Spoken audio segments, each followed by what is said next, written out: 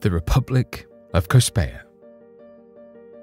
The Republic of Cospaia was a small state within modern day Italy, which was an independent nation from 1440 to 1826.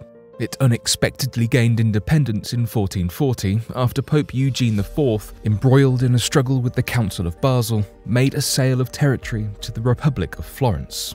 By error, a small strip of land went unmentioned in the sale treaty and its inhabitants declared themselves independent.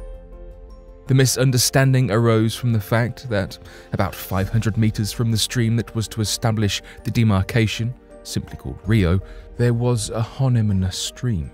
The delegates of the Florentine Republic considered the Rio which was located further north as the new delimitation, whereas the delegates of the Papal States considered it the one further south. Thus, a sort of terra nullius was formed whose inhabitants declared themselves independent, no longer subject to any authority.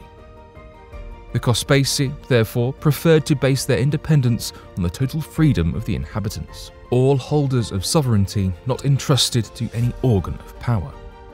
The Cospaci did not, therefore, have tribute obligations with either the Papal States nor the Grand Duchy of Tuscany and the goods that passed through the territory were not subject to any tariffs.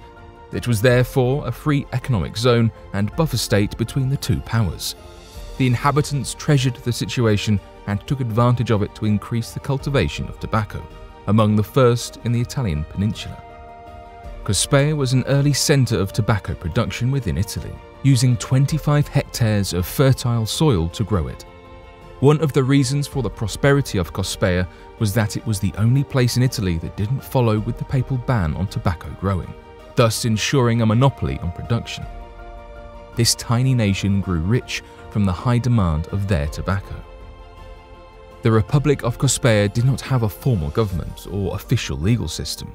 There were no jails or prisons, and there was no standing army or police force, on the architrave of the church door, one can still read the only written law of the tiny republic Perpetua et firma libertas, or perpetual and secure freedom.